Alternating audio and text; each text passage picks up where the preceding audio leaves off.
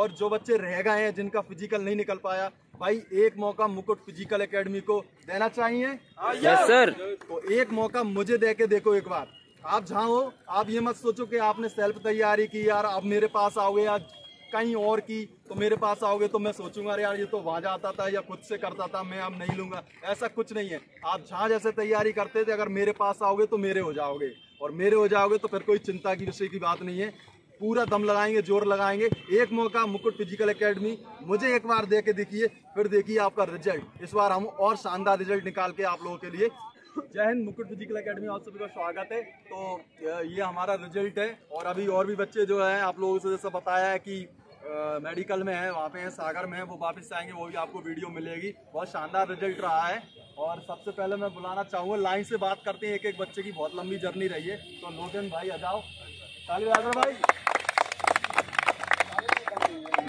लोगन हमारा पुराना खिलाड़ी रहा है और अभी बेटा उम्र कितनी है? मेरी सर बीस है।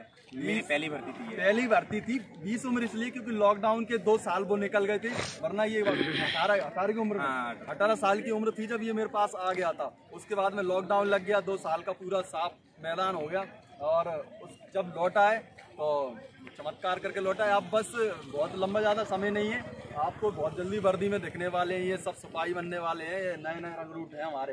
तो भाई लोकेंद्र कैसी जर्नी रही है? सब जानना चाहते हैं भाई मुकुट फ़िज़िकल अकेडमी के रिज़ल्ट सर मैं जब मुकुट फ़िज़िकल अकेडमी जब मैंने ज्वाइन की थी तब मैं सर सोलह मीटर भी नहीं दौड़ पाता था सोलह सौ मीटर। हाँ सर। हम्म।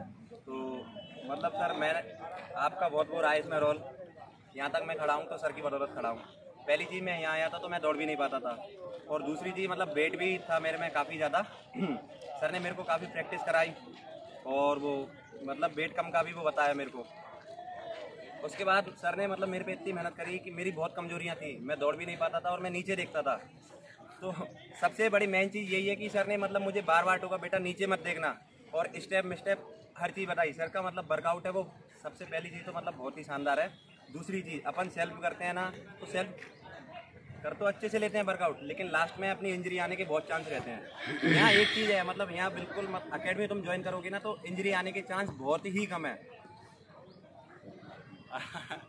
चलो इसके अलग कर दूँ? तो क्या है ना वो ऐसा है अभी पहली बार बोलते हैं एकदम से। हाँ। तो मैं तो ये बोलता हूँ मुकुट फ़िज़िकल एकेडमी में जो आ चुका है वो वो बोलना स्टार्ट कर ही दे प्रैक्टिस कर लिया करे बोले हाँ मुझे एक टाइम आने वाला है जिस टाइम में वीडियो बनेगी लास्ट में और मुझे खड़ा होना है और खूब बोलना है ये बोलना है दम से बोलना है। तो बहुत बहुत शुभकामनाएँ आपको और आपके माता पिता को बहुत बहुत शुभकामनाएँ। जो भी वीडियो देख देख रहे हैं कोलारस के और बहुत ही जल्दी हम जुलूस के साथ में कोलारस में आने वाले हैं। भारत माता की जय। दुर्गा मैया की जय। सरकार की जय। Good.